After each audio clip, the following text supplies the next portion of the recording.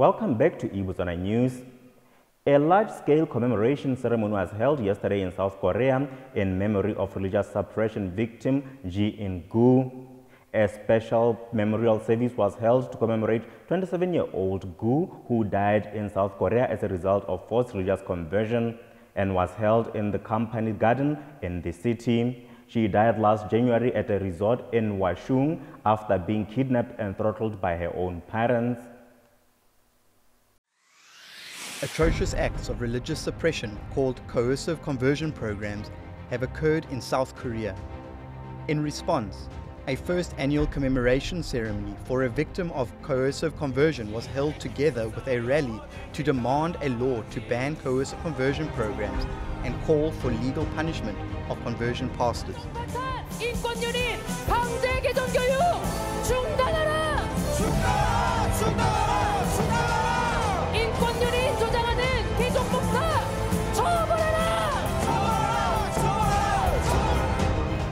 Coercive conversion is an act that utilizes violence to forcibly change or convert the Christian beliefs of the victim to that of another Christian denomination in clear violation of basic human rights.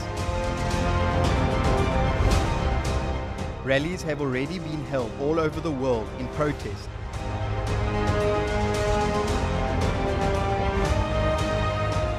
And coverage by news companies such as the New York Times continue to follow.